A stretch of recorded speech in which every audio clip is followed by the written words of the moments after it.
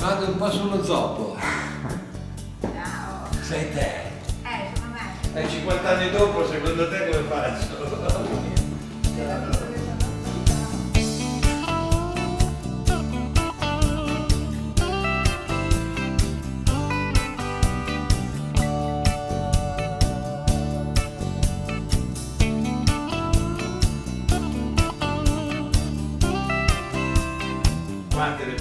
Abbiamo combinate qua dentro?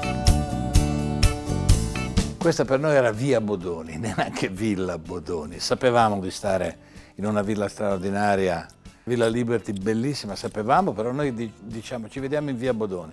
Per noi questa era via Bodoni, vivevamo in tutto questo primo piano ed era all'inizio tutti noi. E all'ingresso c'era un tavolo e mangiavamo lì, ci- si usciva dalle camere, era un po' caserma e abitazione. È iniziata una specie di catena di Sant'Antonio, non so chi venuto, chi sia venuto per primo, ma si vede che stavano bene qua, trovavano una volta da dormire, una volta no, però almeno si era tra amici, noi eravamo il primo gruppo italiano per cui avevamo di che parlare con altri musicisti. E venivano qua, poi spargevano la voce, uno arrivava, la porta era sempre aperta, permesso? Oppure uh, sorry, Oh, entravano, stavano qua e cose così e poi si parlava, si conosceva gente, si ascoltava musica. Di Franco, Maurizio, Alfio? Sì, ti ho portato latte e panini, si mangia. Sì, si mangia anche oggi. Sono un tipo antisociale, non mi importa mai di niente, non mi importa dei giudizi della gente. Qui è venuto, partiamo da, da quello forse meno conosciuto, un certo Georgie Fame, era un cantante molto conosciuto dell'epoca, ha cantato Bonnie and Clyde, la ballata di Bonnie and Clyde. È venuto un signore con la barba che si, chiama Alan- si chiamava Alan Ginsberg, è, è venuto una, grande, una delle più grandi fotomodelle al mondo che era Donnie Luna, con cui ho, diciamo che forse ho avuto una storiella, però era molto difficile avere una storia con lei perché era, era un chiodo. eh. Qui c'è stato Jerry Malanga che era il fotografo socio di manager di Andy Warhol, eh, mi ha fatto parlare lui al telefono con Lurid perché io volevo fare un pezzo di Lurid e qui succedeva di tutto, tutti i giorni succedeva qualcosa. Qui mi telefonò un avvocato dicendo "Ah, Maurizio sei seduto, dico no sono in piedi, ecco Alfio è andato in galera.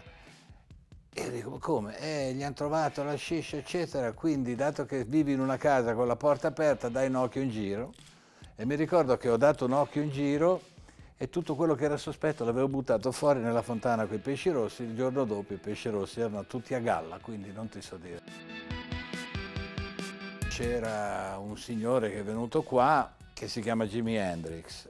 Eh, Jimi Hendrix non è che è venuto qua per stare qua, per dormire qua, per abitare qua.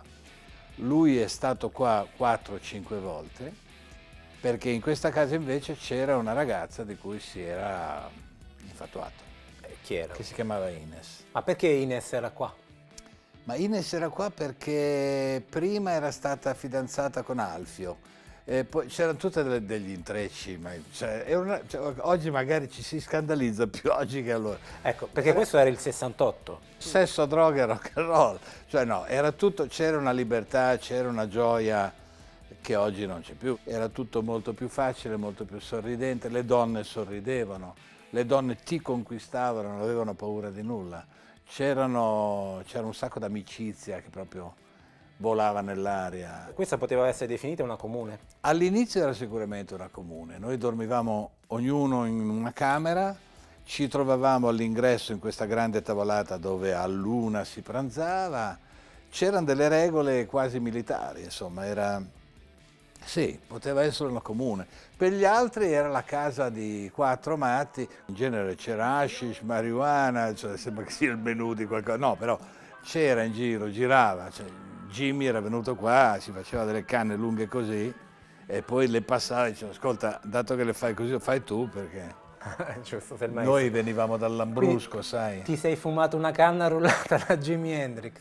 E la verità, no, non te la dico, può darsi, può darsi, però la fumavo quando finiva la, la parte grossa. Perché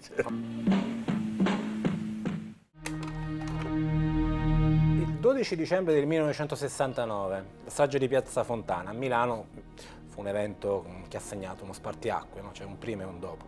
E voi che vivevate la musica, l'arte, anche il divertimento di questi grandi cambiamenti, come avete vissuto questo momento così tragico? Ma eh, da lì fu tutta una, una serie di cose. Io mi spostai da qua e andai anch'io verso il centro e cominciai a vivere un po' più profondamente queste cose. Eh, c'era poca televisione che trasmetteva, cioè la vivevamo un pochino come se qua fossimo in campagna. Non era assolutamente vero, eravamo a Milano. Però dopo quando sono andato a abitare anch'io un po' più in centro a Milano mi sono reso conto che spesso volavano dei calabroni, che io dicevo calabroni e non erano calabroni, erano proiettili.